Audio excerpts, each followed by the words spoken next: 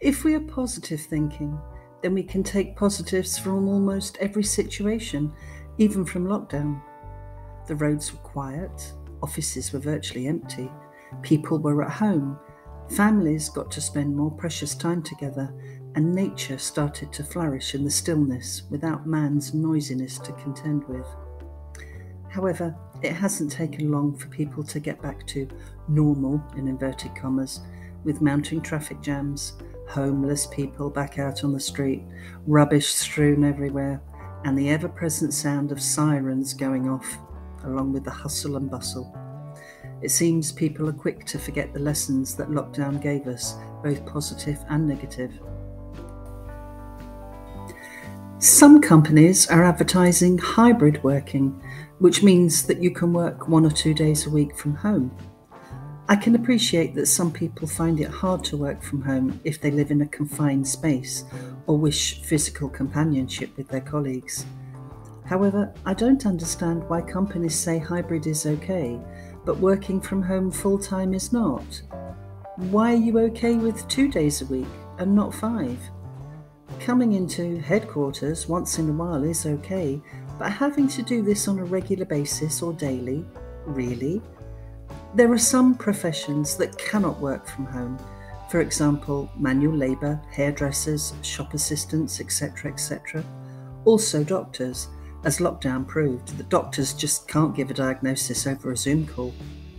But there are professions who can work from home such as administrators, secretaries, accountants, designers, writers. Why do companies insist that these workers commute into offices to work when they can work from home comfortably? Do bosses of companies like paying extortionate rental rates for eight floors of a tower block? There's also the council tax to pay on top of that and the energy bills. Most people have an internet connection in their home these days.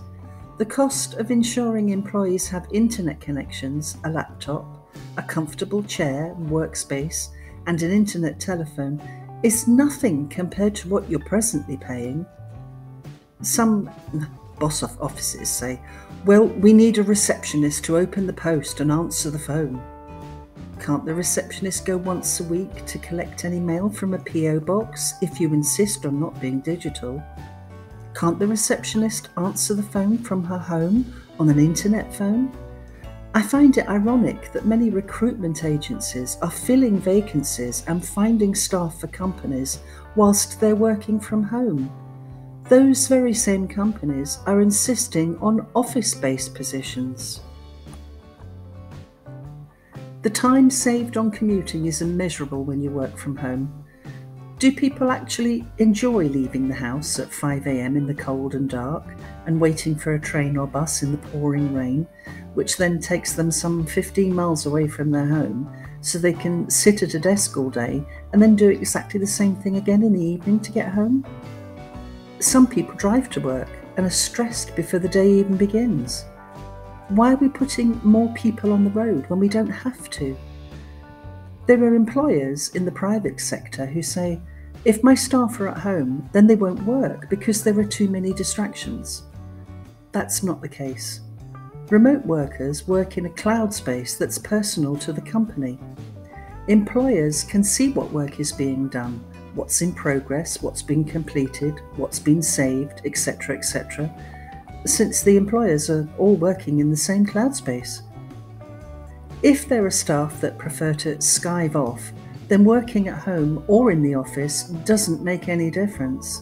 A work shirker is a work shirker and will do this wherever they are physically. Working from home also means the worker is more comfortable. They're able to wear their own clothes. Not everyone feels comfortable and does their best work when they're suited and booted. Workers are in constant contact with their colleagues throughout the day for communication, exactly the same as if they're in an office.